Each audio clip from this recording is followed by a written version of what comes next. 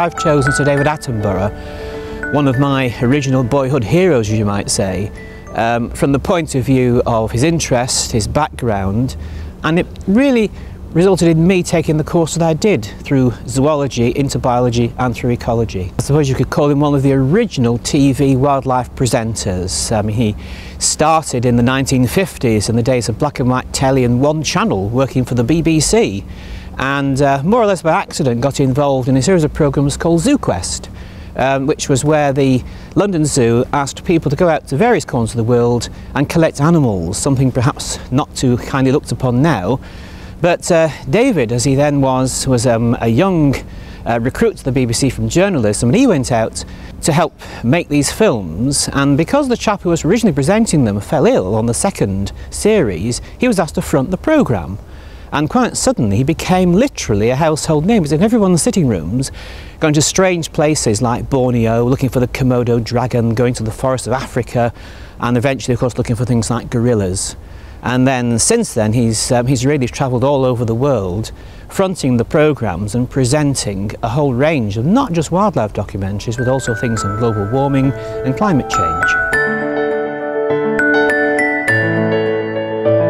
Yes, he is a scientist. Um, he, he actually studied zoology and geology at university before going into journalism.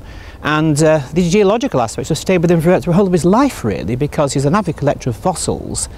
And he tells the story of when he was young. Um, he was uh, at Leicester, which is now Leicester University. His, his father was principal of Leicester College.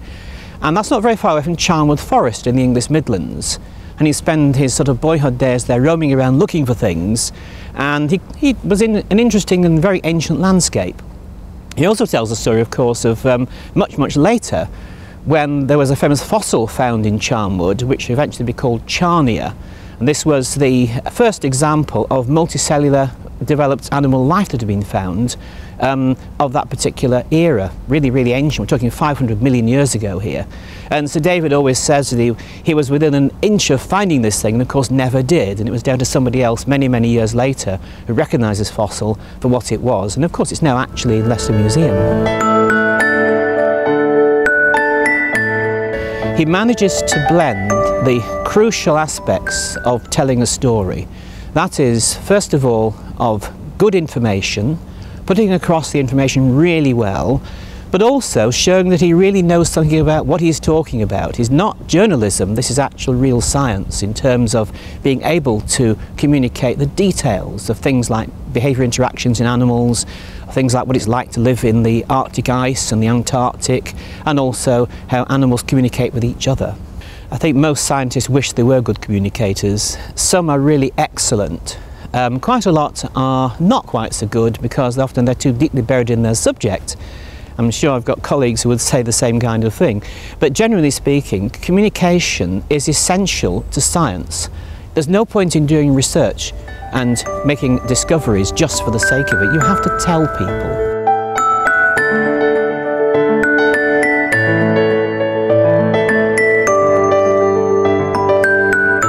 We do indeed use David Attenborough's work quite a lot of the material which is produced over the years has found its way into our lectures, our seminars, and sometimes is the basis for practical work that we do. So for example, we teach behaviour, and the students look at the behavioural material that he produced, and many years ago, back in the 1970s in fact, and they then investigate the kind of situations that he discovered. Things like how animals move around, how they navigate, how they locate themselves in their environments, and how they interact with other species. Uh, basically, this is one of the original tapes from the Trials of Life, um, transmitted um, in the late 1970s, I believe. We're going to have a look at part of this.